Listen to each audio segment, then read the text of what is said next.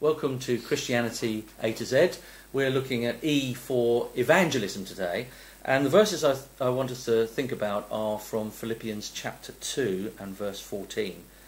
Do everything without complaining or arguing, so that you may become blameless and pure, children of God, without fault in a crooked and depraved generation, in which you shine like stars in the universe, as you hold out the word of life in order that I may boast on the day of Christ that I did not run or labour for nothing.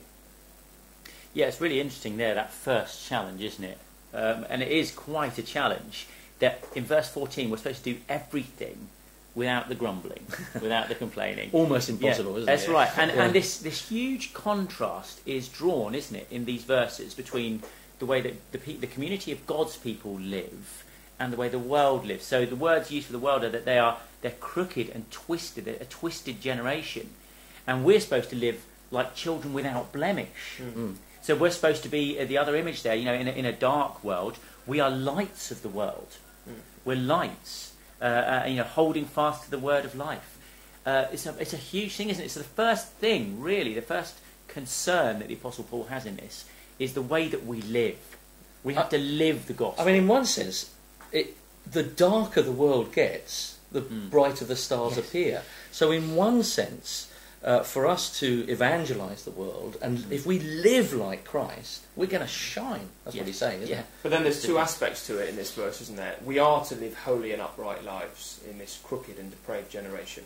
But he also says clearly we are to hold out the word of life. That's right. Yeah. So this common and quite popular misconception mm. you hear today, I think Francis of Assisi first conjured it up, that we are to share the gospel at all times and, if necessary, use words, is only really partly right.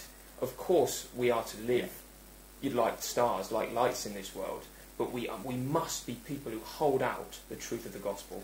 we must Absolutely. be speakers of truth. It, right. People, people don't become Christians just by osmosis, you know, saying, "Oh, this, this is this is a nice life." Mm. I mean, that will get their attention, won't yeah. it? If we're going to shine like hmm. stars, it will draw, yeah. like you know, like flies are drawn to light, as it were.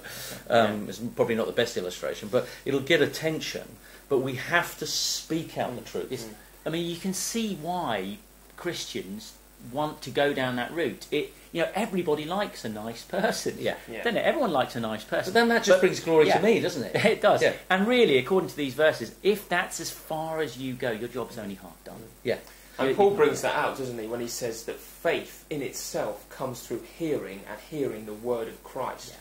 So you actually cannot become a Christian just by observing someone's good and generous deeds. You must hear. Um, I mean, actually, um, historically, I mean, if you go to communism, uh, you know, at the beginning, uh, the young communists started to help out their neighbours and all of mm.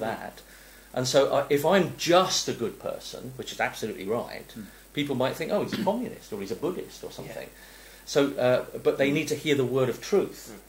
And the word of truth is that j- there is only one way. Mm. And Jesus, by, what he's, by who he is and what he's done on the cross, is the saviour. Yeah. Muhammad isn't, Buddha isn't, Confucius isn't, secular humanism. We can't work it out ourselves. We have to come to the saviour to be saved. And yeah. that's the message that, that we've got to hold out. Yeah. and despite how offensive that is in our culture, mm. um, the feet of those who bring good news are, are beautiful, and it is wonderful to be able to proclaim that truth. Yeah.